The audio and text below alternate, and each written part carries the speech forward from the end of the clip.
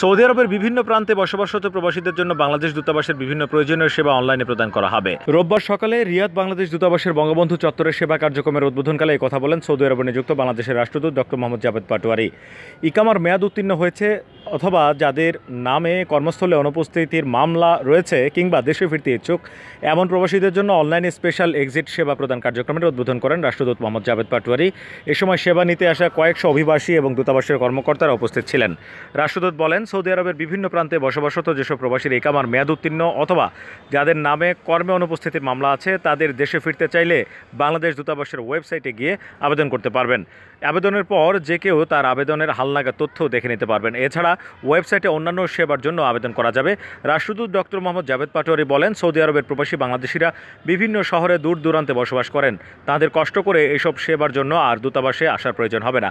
Saudi আরবের বিভিন্ন শহরে স্থাপিত প্রবাসী সেবা কেন্দ্রের মাধ্যমেও প্রবাসীদের পাসপোর্ট সহ বিভিন্ন জরুরি সেবা নিয়মিত প্রদান করা হচ্ছে। ইকামার মেয়াদ উত্তীর্ণ অথবা যাদের নামে কর্মে অনুপস্থিতির মামলা আছে কিংবা দেশে ফিরতে ইচ্ছুক প্রবাসীদের, এর আগে সশরীরে দূতাবাসে এসে আবেদন জমা দিতে হতো। অনলাইনে আবেদন প্রক্রিয়া শুরু করায় এখন আর দূতাবাসে আসার প্রয়োজন হবে না।